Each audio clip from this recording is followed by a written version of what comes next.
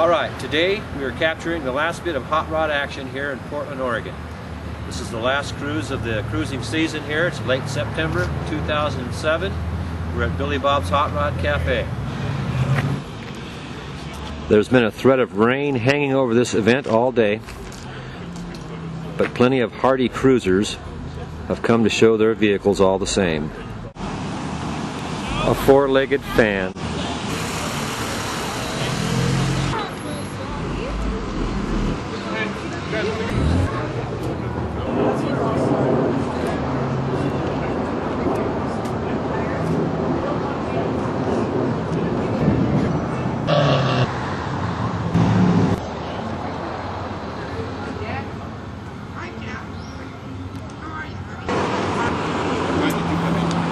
here is a real nice 1935 Dodge owned by Tony Aragon.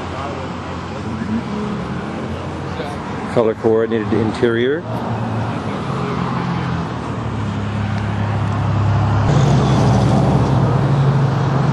Yeah.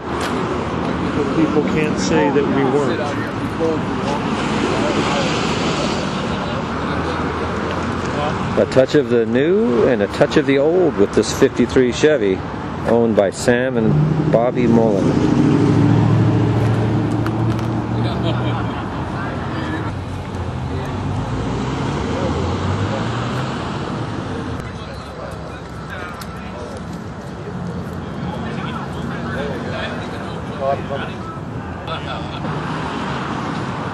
Nice paint job, among other things, on this 49 Chevy pickup here, owned by Rigo Gomez.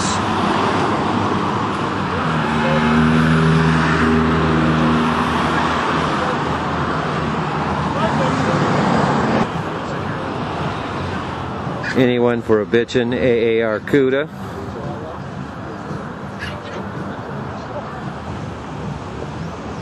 This Impala will fool you with the dual quads under the hood.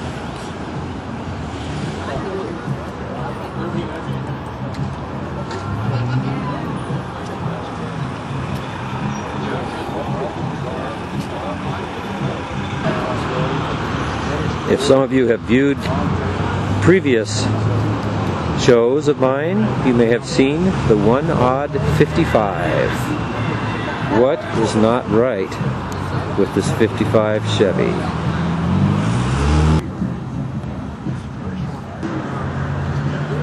The car is a little bit shorter than most.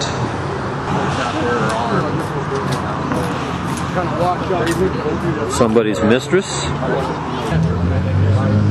A couple of real nice Mopars.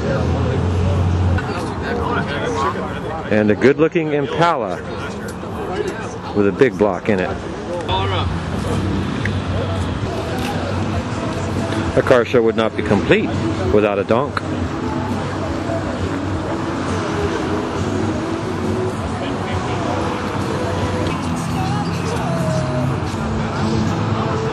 Now this is Billy Bob Hot Rod Cafe's rendition of the General Lee.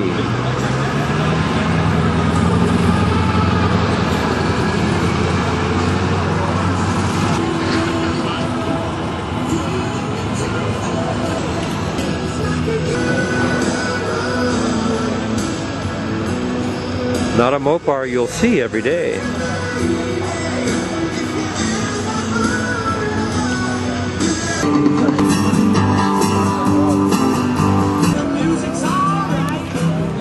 Nice tasteful flame job.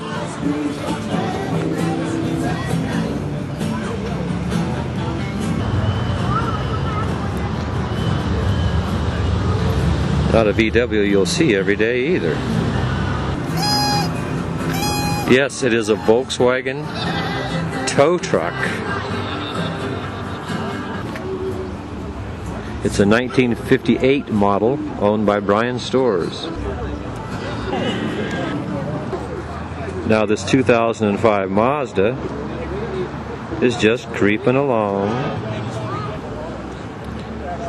Yes, bird of a different feather here. Looks like it's packing some ponies under that hood too.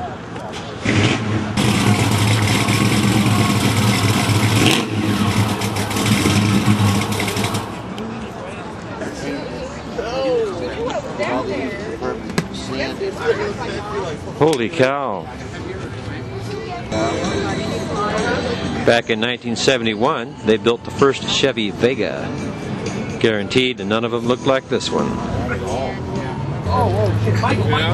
Now, this cruiser was built for comfort. I swear they think they're the size of what you see. Looks like three quarters of a seat in this baby. It's a 27 Ford. It's owned by Ben Stanley. It looks like the trunk is actually made out of wood, perhaps. And it's complete with the receiver hitch. And here's an example of a 1972 Vega. These cars are getting scarce. SS Chevelle looking good in the neighborhood and under the hood.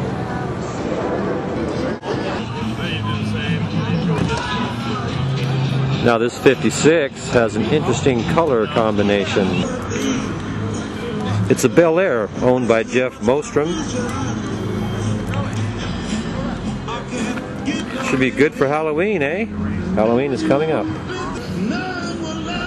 A nice touch from the 50s.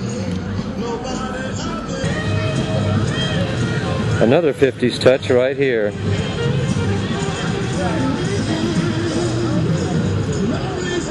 Blue dot tail lights.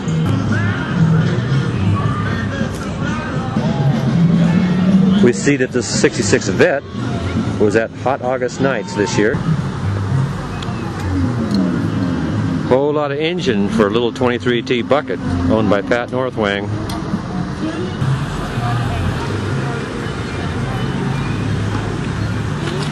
Oops, one more.